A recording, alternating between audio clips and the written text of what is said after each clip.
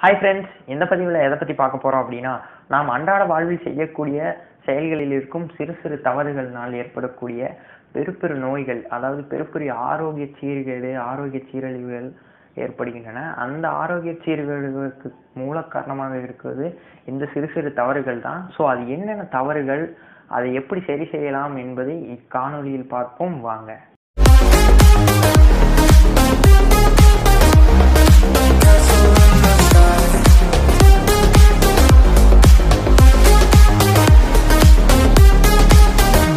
நாம் முதலாவதாக பார்க்கக்கூடிய தவறு என்னவென்றால் நாம் அமரும் முறை. ஆம் நாம் அமரும் முறை தவறாக இருந்தாலும் கூட நமக்கு நிறைய பிரச்சனைகள் வரும். குறிப்பாக சொல்ல போனால் முதுகு வலி தோள்பட்டை வலி கழுத்து வலி போன்ற பல பிரச்சனைகள். ஆக நாம் எவ்வாறெல்லாம் அமர்வதால் இவ்வாறு பிரச்சனைகள் வருகிறது? பார்ப்போம். முதலில் நாம் கழுத்து கீழே பார்த்தபடி உட்காருவது. ஆம் இது மற்றும் முதுகு மற்றும் முதுகு வளைந்து உட்கார்வது அதாவது கூன் போட்டு உட்கார்வதால் வருகிறது. மற்றும் நாம் பின்புறம் அஹ், அமர்க்கையின் ஒட்டி இல்லாமல் கொஞ்சம் தூரமாக உட்கார்வதால் வரக்கூடிய முதுகு வளைவினாலும் வரும்.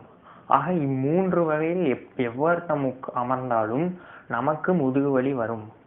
முதுகு வலி மட்டுமல்ல கழுத்து வலி தோள்பட்டை வலியும் வரும். ஆக எப் எவ்வாறு அமர்ந்தால்தான் நமக்கு அஹ், முதுகு வலி வராது? எது சரியான முறை பார்ப்போம்? உம், இக்காணொளியில் வரும் காட்சியை பாருங்கள்.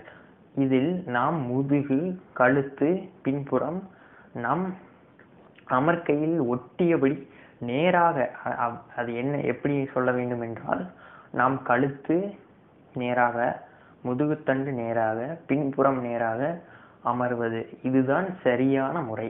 இவ்வாறு அமர்ந்தால் நமக்கு எந்த ஒரு எலும்பிலும் எந்த ஒரு பகுதியிலும் இரத்த அழுத்தம் அதிகமாகாது மற்றும் முதுகும் வளையும் பிரஷர் என்று சொல்லக்கூடிய அழுத்தமும் முதுகில் இருக்கக்கூடிய அந்த எலும்புக்கு எந்த ஒரு ஸ்ட்ரெஸ்ஸும் நமக்கு ஏற்படாது. நாம் இரண்டாவதாக பார்க்கவிருக்கும் தவறு என்னவென்றால் தொலைக்காட்சி பெட்டிக்கு நேர் எதிரே அமர்க்கைகளை போட்டு உட்காராமல் தொலைக்காட்சி பெட்டிக்கு ஓரமாக அமர்க்கைகளை போட்டு உட்கார்ந்து தொலைக்காட்சியை பார்ப்பதுதான். ஆம் இதனால் நம் கழுத்து மட்டும் திரும்புவதன்றி நம் கழுத்து திரும்பி கொஞ்ச நேரத்திலே அதாவது சிறிது நேரத்திலே நம் முதுகெலும்பும் அதை நோக்கி தொலைக்காட்சியை நோக்கி திரும்புவதால் நம் பின்புறம் அதாவது நம் அமரும் பகுதி நேராக அஹ், இருக்கும். மற்றும் நம் முதுகு வளைந்திருக்கும். ஆக இது நம் முதுகெலும்புக்கும் கழுத்திற்கும் மிக மிகப்பெரிய சுமையை தேடித் தருகிறது. ஆக இவ்வாறாக உட்காராமல் தொலைக்காட்சி பெட்டிக்கு நேராக உட்கார்ந்து பார்க்கலாம். நிறைய பேருக்கு வீட்டில் இவ்வாறான பிரச்சனைகள் இருக்கலாம். எங்கள் வீட்டிலும் இருக்கிறது. அது போதிய இடவசதி இல்லாததால் அந்த சோஃபாவை அவ்வாறு போட வேண்டிய சூழல். ஆக அதற்கான தீர்வு என்னவென்றால் நீங்கள் உங்கள் அமர்க்கைகள் அதாவது தனித்தனியே உட்காரக்கூடிய சேர் அதாவது அமர்க்கைகளை போட்டு அதற்கு நேராக போட்டு உட்காரலாம் அல்லது தரையில் உட்கார்ந்தும் கூட பார்க்கலாம். நாம் மூன்றாவதாக பார்க்கவிருக்கும் பிரச்சனை என்னவென்றால் நாம் மொபைல் போன்களை எவ்வாறு யூஸ் செய்கிறோம் என்பதுதான். ஆம் நாம் மொபைல் போன்களை எவ்வாறு பயன்படுத்துகிறோம் பார்க்கிறோம் என்பதுதான் மூன்றாவது தவறு. நாம் நிறைய பேர் ம், இக்காணொளியில் வருவதைப் போல கீழே குனிந்தும் கைகளை கீழே வைத்தும் மொபைல் போன்களை பார்ப்பதால் அவர்களுக்கு கழுத்து வலி ஏற்படக்கூடும். ஆக நாம் மொபைல் போன்களை சரியாக எப்படி பார்க்க வேண்டும் என்றால் நாம் கைகளை சிறிது ஏந்தி அதாவது கண்களுக்கு நேராக மொபைல் போன்களை வைத்தும் நம் கழுத்தை குனியாதவாறும் பார்த்து கொள்ள வேண்டும். ஆக இதுவே மொபைல் போன்களை யூஸ் செய்யும் சரியான முறை.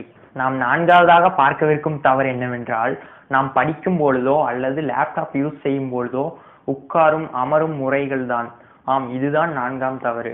நாம் படிக்கும்போது நாம் ஒரு டெஸ்கிலோ அல்லது ஏதாவது அமரும் அமர்கையிலோ உட்கார்ந்து படித்தால் தவறில்லை. நான் இப்பொழுது உட்கார்ந்திருப்பது போல் உட்கார்ந்து படிப்பது மிகவும் தவறானது. ஆம் இப் இக்காணொலியில் வருவதை போன்று நீங்கள் உட்கார்ந்து படிக்கும்போது உங்களுக்கு கழுத்து வலி முதுகு வலி எல்லாம் வரும். அது நீங்கள் அமர்கையில் உட்கார்ந்து படித்தாலும் சரி தரையில் உட்கார்ந்து படித்தாலும் சரி. ஆக இதை இதற்கான தீர்வு என்னவென்றால் ஒரு ஒரு டெஸ்க் அதாவது ஒரு பலகை அல்லது அமரும் அமர்க்கை இருந்தால் போதும். இதுவே இது இந்த பிரச்சனைக்கு தீர்வு. ஆக இப்படங்களில் வரும் டெஸ்க்குகளை வாங்கி பயன்படுத்தி லேப்டாப் மற்றும் படிக்க நீங்கள் பயன்படுத்தி கொள்ளலாம். நாம் ஐந்தாவதாக பார்க்கும் தவறு என்னவென்றால் நாம் ஒரு பொருளை எடுக்கும்போது உள்ள பளுவை தூக்கும் பொழுதோ நாம் குனிந்து எடுப்போம். ஆம் நாம் குனிந்து எடுக்கும்போது நம் முதுகெலும்பு வளைந்து எடுக்கக்கூடாது. நம் முதுகெலும்பு நேராக இருந்து குனிந்து எடுக்க வேண்டும். இது நாம் செய்யும் அன்றாட தவறு. இதனால் நமக்கு முதுகு வலி போன்ற பல பிரச்சனைகள் வருகின்றன. ஆக நீங்கள் அடுத்த தடவை குனிந்து எடுக்கும் பொழுது முதுகெலும்பு வளைந்து எடுக்காமல் நேராக வைத்து குனியுங்கள். ஆக இதுவே இதற்கான சரியான முறை.